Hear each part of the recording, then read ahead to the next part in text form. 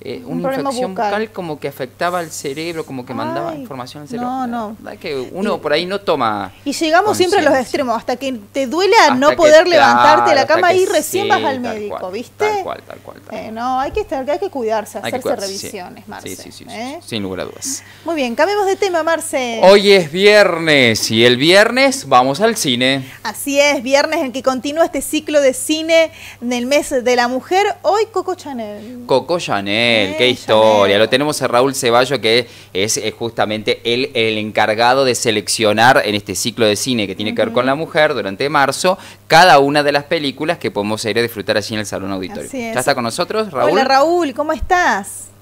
Hola, ¿cómo andan, chicos? Muy bien, Raúl, un placer como siempre tenerte. Gracias.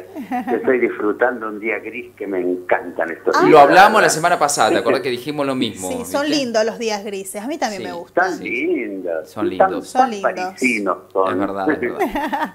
bueno, pero hoy a salir a la tarde, ¿eh? Para ir a ver el ciclo de cine.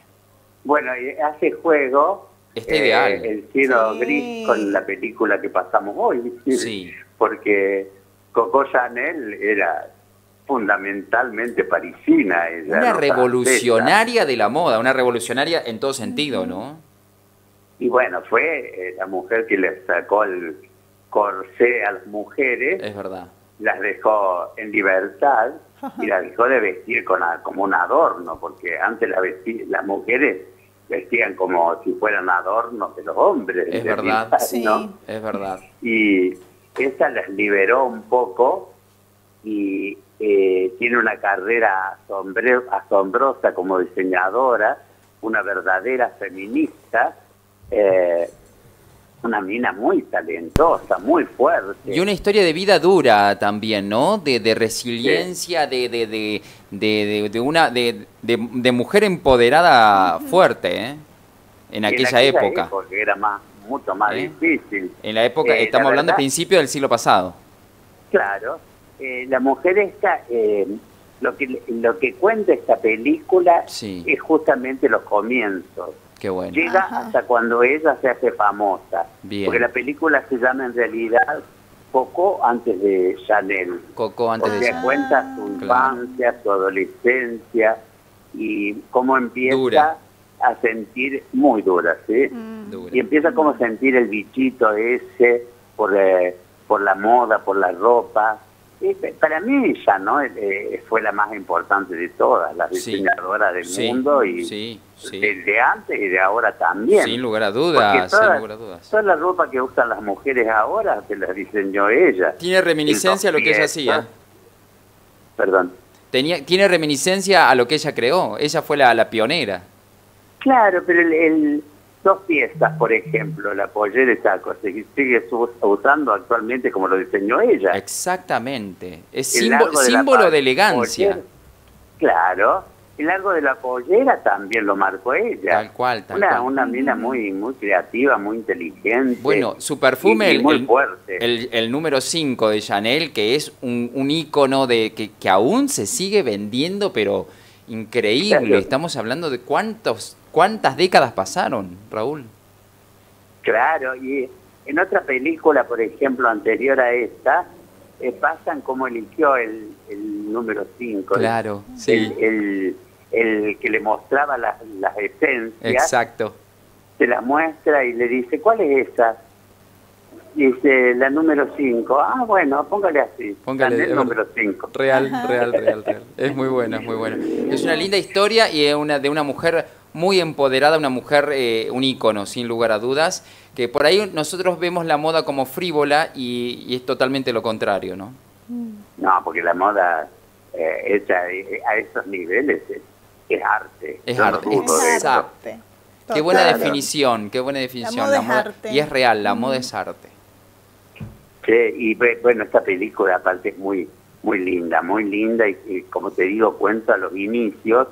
Eh, Audrey Tatu, sí. es una actriz estupenda. ¿Te acuerdas? La vimos la primera vez en Amelie. En Amelie, sí. sí, Amelie, y de ahí quedó sensual como un, una, una actriz realmente interesante, capaz bueno, y eso lo quedamos esta noche a las 20 y 30. Bien. un auditorium, no en el risuto, porque el risuto es muy chiquito. Claro. Y no se puede tener la distancia social requerida por estos tiempos.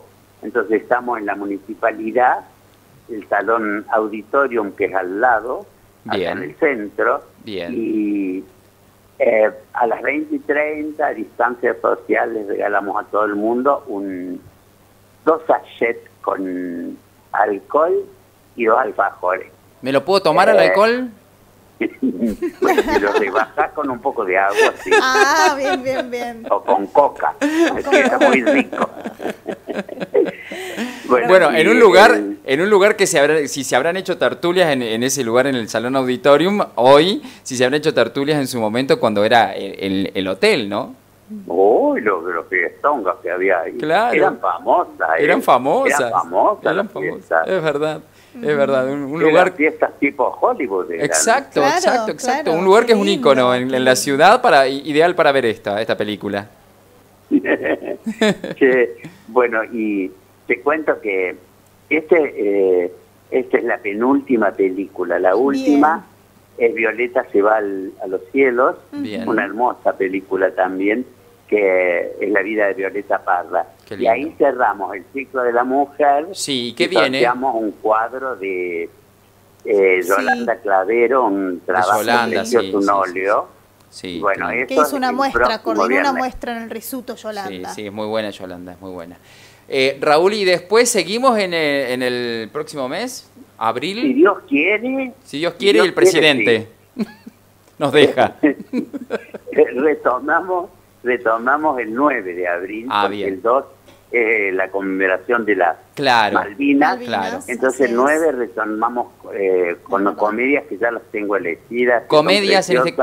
Bien. Me encanta la comedia. Porque, claro, porque las comedias es para extender, un poco. Este, el mes de la mujer ha sido fuerte. Fuerte. Entonces, intenso, digamos. Fuerte, fuerte. Entonces, para cortar un poco. Está, bien, vamos a reírnos un rato. Muy bien, muy bien, perfecto.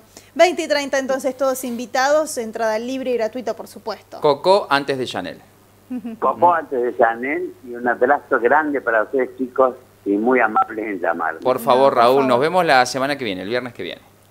Chao, gracias. Un abrazo, gracias, amigo. Raúl, un abrazo enorme. Chao, Sofi, divina. ¿Y yo no? Lo que no, vos no, se cortó. Bueno, lo siento mucho, Marcelo. Eh, bueno. vos también sos divino, te lo digo yo. Gracias, Muy bien, qué lindo, Marcelo. Qué linda historia para ir a ver hoy, ¿eh? Me encantó. Sí, sí, Muy linda vale la pena.